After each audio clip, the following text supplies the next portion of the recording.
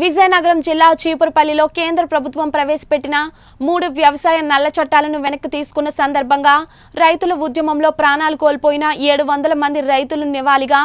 చీపురుపల్లి మూడు రోడ్ల కూడలి నుండి గాంధీ జంక్షన్ వరకు వైఎస్ఆర్ పార్టీ ఆధ్వర్యంలో రైతు సోదరులకు సాంఘీభావం తెలియజేస్తూ కొవ్వొత్తుల ర్యాలీ నిరసన చేపట్టారు.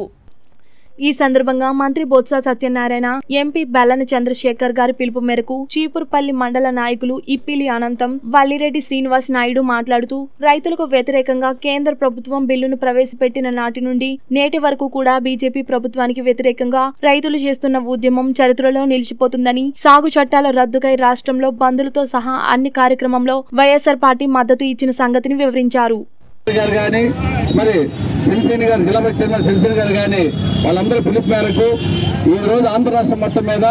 ప్రతి మండలంలో కూడా కొవ్వొత్తులు రాజీ చేయండి అనేసి అందరికి మెసేజ్ పంపడం జరిగింది. మరి దానికి తగ్గట్టుగా మరి ఈ రోజు రెండు వేల ఇరవైలో మరి మన ప్రధానమంత్రి మోడీ గారు రైతులు మూడు మూడు చట్టాలు సాగు చట్టాలు తీసుకురావడం జరిగింది. ఈ మూడు చట్టాలు కానీ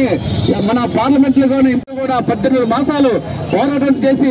ఊర్లు విడిచిపెట్టి ఈరోజు రోడ్ల మీద ఇల్లు కట్టుకొని రోడ్ల మీద భోజనాలు పెట్టుకొని ఈ రోజు మహత్తరమైన పోరాటం చేసి పద్దెనిమిది నెలలు కూడా ఈ రోజు రాజకీయ నాయ- ఇండియా మొత్తం రాజకీయ నాయకుల్ని ప్రధానమంత్రిని కూడా తలవంచి ఈ రోజు తలదించేటట్టుగా చేసి ఈ రోజు అందరూ కూడా వ్యవసాయ ఈ రోజు రైతులందరూ కూడా దేశానికి వెన్నెముకైన రైతులకి ఈ రోజు మీరు అన్యాయం చేస్తారని చెప్పి పోరాటం చేయడం వల్ల